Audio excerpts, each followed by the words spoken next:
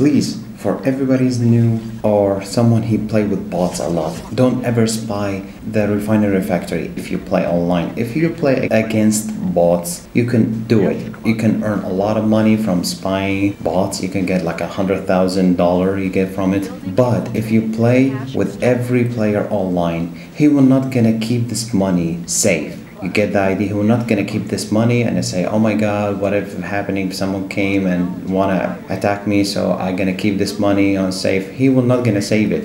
He's going to always want to build units.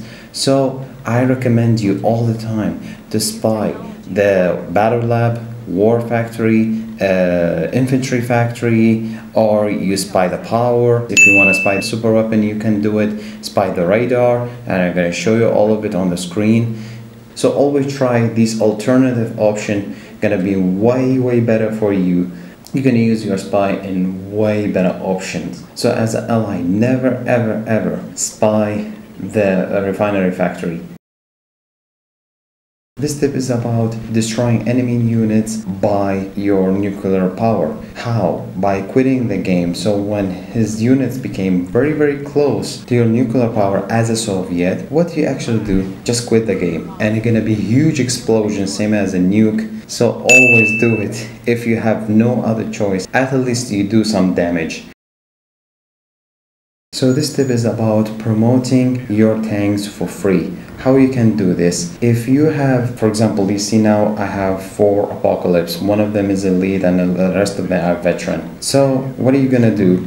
is let all the veteran units attack the war factories of your enemy so each one of them they get they get elite so when another one gets elite you pull it away so you keep doing this until you promote all your units this is my preferred method why i don't prefer that you mix the elite with a veteran unit or even with a, with unit would have no promotion at all because the elite unit is way OP and can destroy everything in front of it so fast so all the other units were not gonna be promoted. You see now i attack these miners with three elite apocalypse and you see the the fourth one that i want to promote it and not get promoted. If your enemy his factories all of them his defenses everything is done. Only left for you the factories try to promote your tanks one by one by this technique.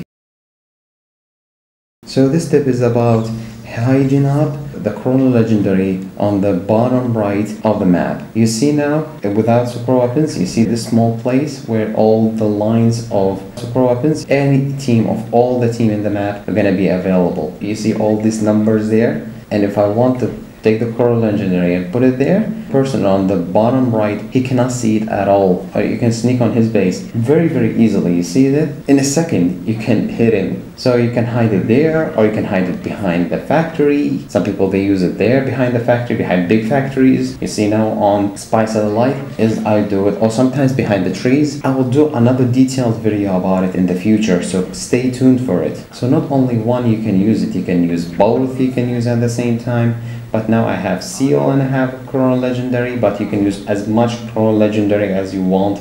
Same as I show you in another video, I'll link it above. So you see you can hide it there, you can attack and return it back to the same place and nothing gonna be happening. You can use Paradrop. I saw a lot of people, they use Paradrop too.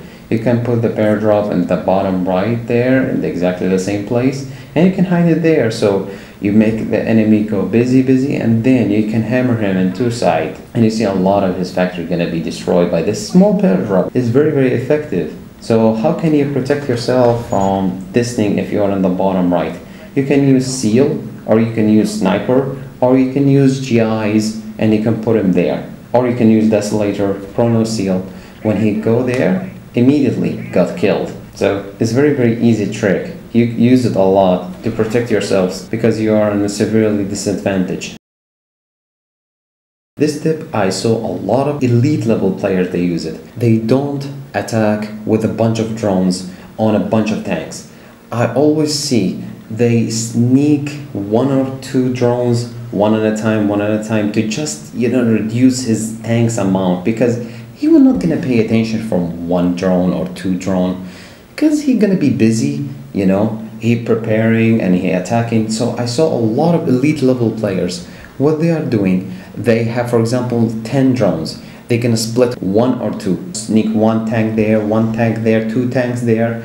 So at the end of the day, after all this, you see now from 20 is turned to 15 this disadvantage for him because he cannot build faster because you're gonna be all both of you at the same level of plane and you, you have something to notice. That drone is built way faster than tanks. That is another advantage if you get all these drones inside these tanks. And sometimes these drones can carry from units to different units. And another reason why i don't prefer personally to attack at, with bunch of drones at the same time because he gonna notice it. He gonna notice it. So he gonna leave he gonna be pay attention so he gonna prepare for attacking it